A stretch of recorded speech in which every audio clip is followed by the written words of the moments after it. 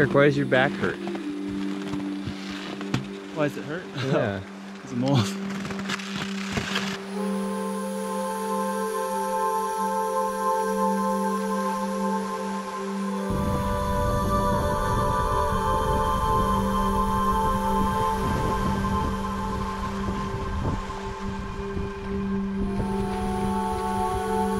There she is, just right over there, right behind me.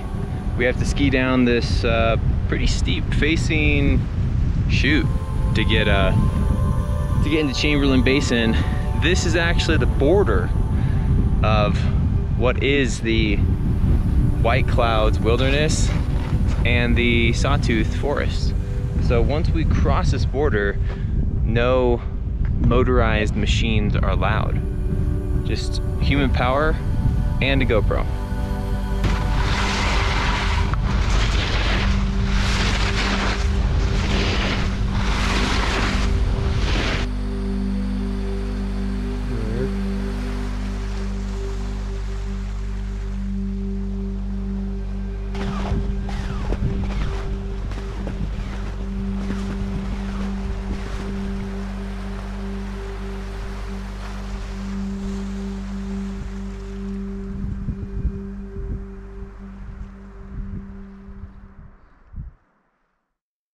So the mountain's right here. Yeah, I'm gonna climb up, hoping for the best. I'm planning on about two and a half hours. We're gonna say three just to be safe. We have walkie-talkies. Okay, here we go.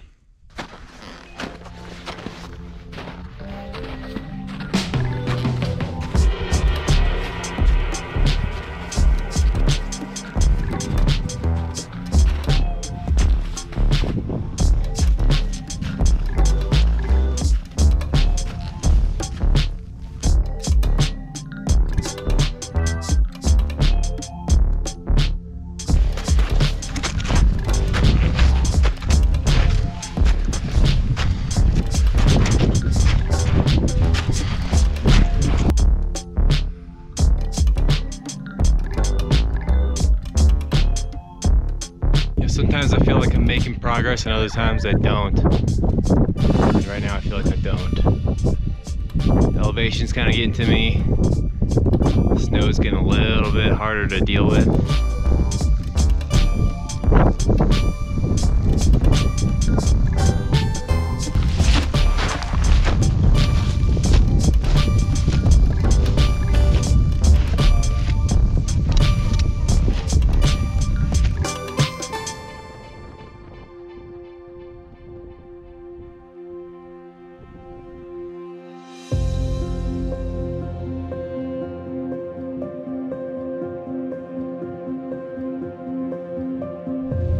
It, this is it, this is where I'm skiing down. The last bit was, I just thought, oh, I'm almost there, I'm almost there, I'm 20 steps away. That 20 turns into 100, that 100 turns into 200. Glad I'm at the top, pretty tired.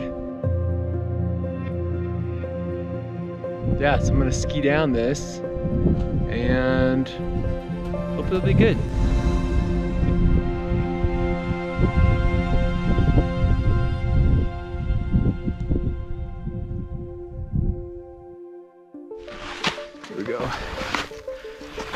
Turn. All right, I think we got this. Here we go.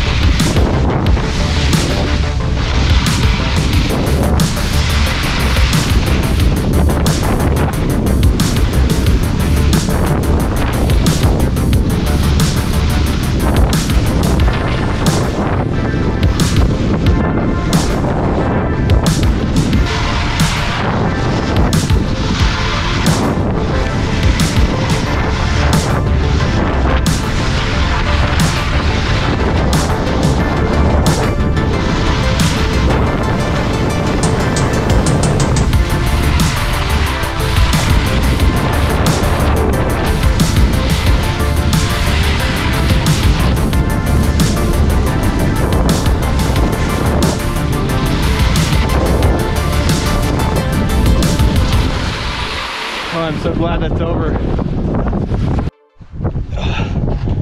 So it was like never ending. When you got, when you thought you had 20 feet left, it turned into 100.